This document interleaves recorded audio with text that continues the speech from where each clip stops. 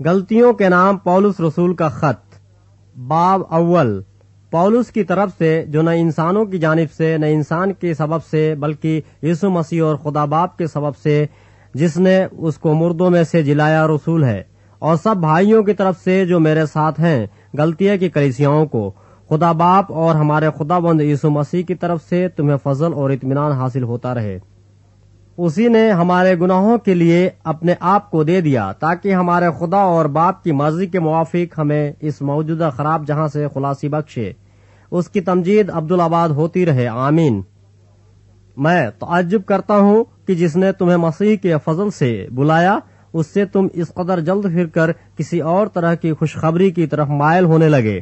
مگر وہ دوسری نہیں، البتہ بعض ایسے ہیں جو تمہیں گھبرا دیتے اور مسیح کی خوشخبری کو بگاڑنا چاہتے ہیں۔ لیکن اگر ہم یا آسمان کا کوئی فرشتہ بھی اس خوشخبری کے سوا جو ہم نے تمہیں سنائی، کوئی اور خوشخبری تمہیں سنائے، تو ملعون ہو۔ جیسا ہم پیشتر کہہ چکے ہیں، ویسا ہی اب میں پھر کہتا ہوں کہ اس خوشخبری کے سوا جو تم نے قبول کی تھی، اگر کوئی تمہیں اور خوشخبری سناتا ہے، تو ملعون ہو۔ اب میں آدمیوں کو دوست بناتا ہوں یا خدا کو۔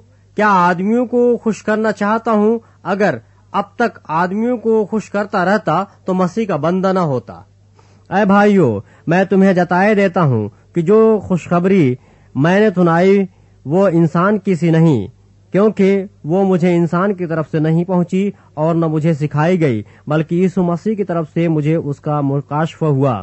چنانچہ یہودی طریق میں جو پہلے میرا چال چلن تھا، تم سن چکے ہو کہ میں خدا کی کلیسیا کو از حد ستاتا اور تباہ کرتا تھا، اور میں یہودی طریق میں اپنی قوم کے اکثر ہم عمروں سے بڑھتا جاتا تھا، اور اپنے بزرگوں کی روایتوں میں نہایت سرگرم تھا۔ لیکن جس خدا نے مجھے میری ماں کے پیٹ ہی سے مخصوص کر لیا اور اپنے فضل سے بلا لیا جب اس کی یہ مرضی ہوئی کہ اپنے بیٹے کو مجھ میں ظاہر کرے تاکہ میں غیر قوموں میں اس کی خوشخبری دوں۔ تو نہ میں نے گوشت اور خون سے صلاح لی اور نہ یروسلم میں ان کے پاس گیا جو مجھ سے پہلے رسول تھے، بلکہ فوراً عرب کو چلا گیا، پھر وہاں سے دمشق کو واپس آیا۔ پھر تین برس کے بعد میں کیفا سے ملاقات کرنے کو یروسلم گیا اور پندرہ دن اس کے پاس رہا۔ مگر اور رسولوں میں سے خدا بند کے بھائی یعقوب کے سوا کسی سے نہ ملا۔ جو باتیں میں تم کو لکھتا ہوں خدا کو حاضر جان کر کہتا ہوں کہ وہ جھوٹی نہیں۔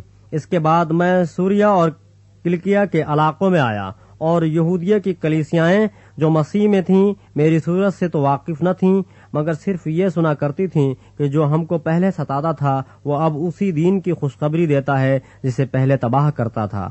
اور وہ میرے باعث خدا کی تمجید کرتی تھیں۔